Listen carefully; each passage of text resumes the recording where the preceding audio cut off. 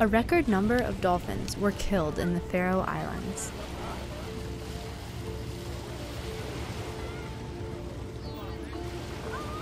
More than 1,400 white sided dolphins were reportedly killed in the Faroe Islands in the largest ever recorded hunt for the area.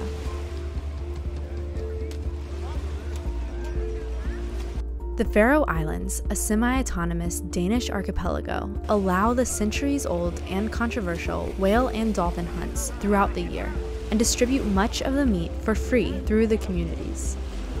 Supporters note that there are regulations to keep the hunts sustainable, but many are still upset by the size and brutality of this latest hunt. The Faroe government released a statement saying that the size of the pod led to difficulties once the animals had reached the bay.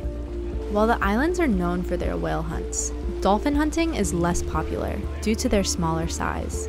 Annually, approximately 250 white sided dolphins are hunted, which the government claims is sustainable based on the latest abundance estimates.